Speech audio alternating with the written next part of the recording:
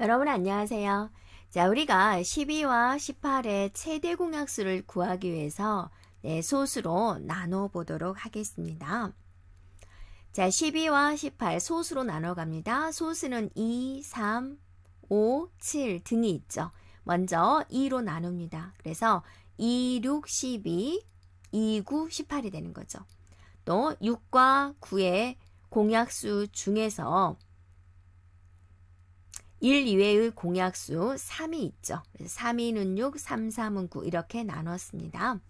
그러면 여기서 왼쪽에 있는 2와 3, 2 곱하기 3은 6 해서 12와 18의 최대 공약수는 6입니다. 이렇게 말을 하는 거죠.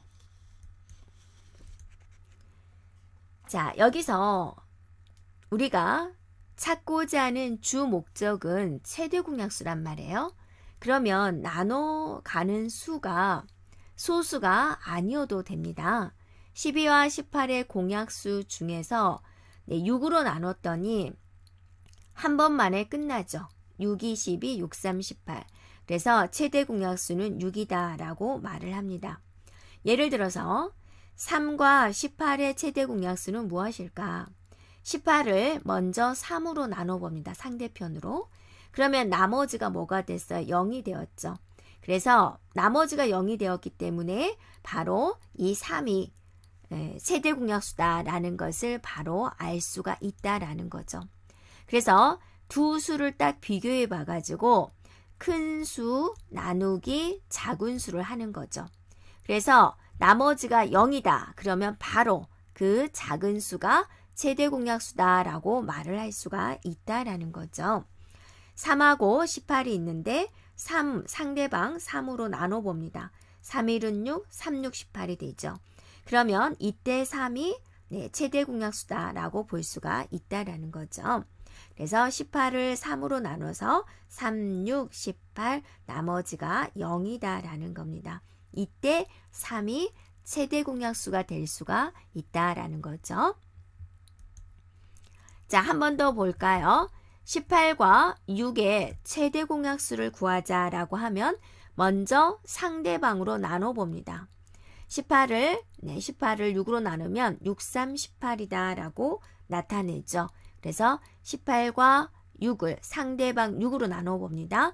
6, 3, 18, 6, 1은 6. 그래서 이때 6의 최대 공약수다 라고 말을 하는 거죠. 그러면 이제 12와 18의 최대 공약수를 구해보자 라는 겁니다. 작은 수가 12가 되는 거죠. 어, 18을 12로 나눴더니 나머지가 0인가요? 아니에요. 이때 나머지가 뭐가 나오나요? 예, 나머지가 6이 나오죠. 자, 잘 생각해 보세요. 처음에 18을 12로 나눴더니 18을 12로 나눴더니 몫은 1이 되지만 나머지가 뭐가 나왔어요? 6이 나왔다라는 거죠. 그러면 어, 작은 수였던 12와 나머지였던 6을 가지고 잘 생각해 보세요. 작은 수였던 12와 나머지였던 6을 가지고 다시 나누기를 진행합니다. 즉, 12 나누기 6을 하는 거죠. 그랬더니 6이 12 해서 나머지가 0이 되는 거예요. 자, 6으로 나눴더니 나머지가 0이 되는군요. 이때 최대 공약수는 6이다 라고 이야기를 합니다. 자, 이것에 대한 알고리즘을 우리가 다시 한번 생각을 해볼게요. 숫자 두 개가 있다. 그 숫자 두 개 중에서 큰 값과 작은 값을 결정을 합니다. 그래서 큰 수 나누기 작은 수를 한다 그거죠. 나머지를 구합니다. 나머지가 0이 나왔다. 그럼 이 작은 수가 뭐가 되는 거예요? 최대 공약수가 되고 프로그램이 종료가 되는 거죠. 왜냐하면 우리가 알고자 하는 최대 목적은 최대 공약수니까. 근데 나머지가 0이 아니다. 그러면 그 작은 값을 가지고 다시 또 나누기를 시작한다라는 거죠. 그래서 어, 프로그램을 계속해서 반복을 하면 되는군요. 나머지가 0이 나올 때까지 계속 반복을 하면 된다라는 거죠. 자, 이거를 우리가 이제 순서도로 한번 살펴보도록 하겠습니다. A, B라는 두 개의 수가 있어서 최대 공약수를 구하자. 그러면 먼저 뭐가 큰 수고 뭐가 작은 수인지 결정을 해줘야 되겠죠. 그래서 큰 수를 맥스방에 넣고 작은 수를 민에다 넣겠습니다. 네. 자, 그런, 그런 다음에 큰 수 나누기 작은 수를 하는 거죠.